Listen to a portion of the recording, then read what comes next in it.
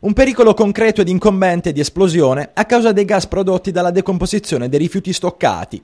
Dopo la chiusura imposta mesi fa dalla Regione Puglia per via dei suoi alti livelli di inquinamento, è stata sequestrata questa mattina la discarica di Trani, di proprietà comunale, gestita dall'Amio SPA al servizio dei comuni del bacino Ato Bari 1.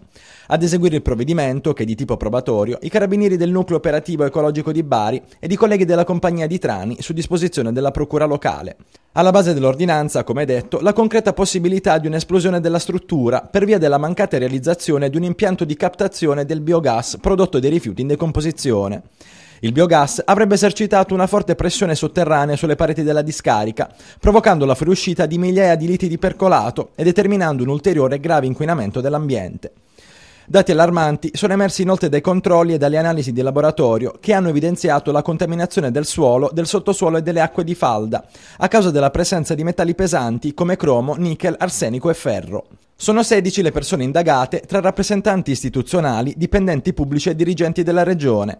Tra di loro figurerebbero i nomi del sindaco dimissionario Luigi Riserbato, dell'ex sindaco Giuseppe Tarantini, l'ex vice sindaco e assessore all'ambiente Giuseppe De Simone e gli ex presidenti dell'AMIO Franco Sotero e Antonello Ruggero rispondono a vario titolo di disastro ambientale aggravato, omissione di atti d'ufficio, gestione continuata di rifiuti in assenza di autorizzazione e di emissioni non autorizzate nell'atmosfera.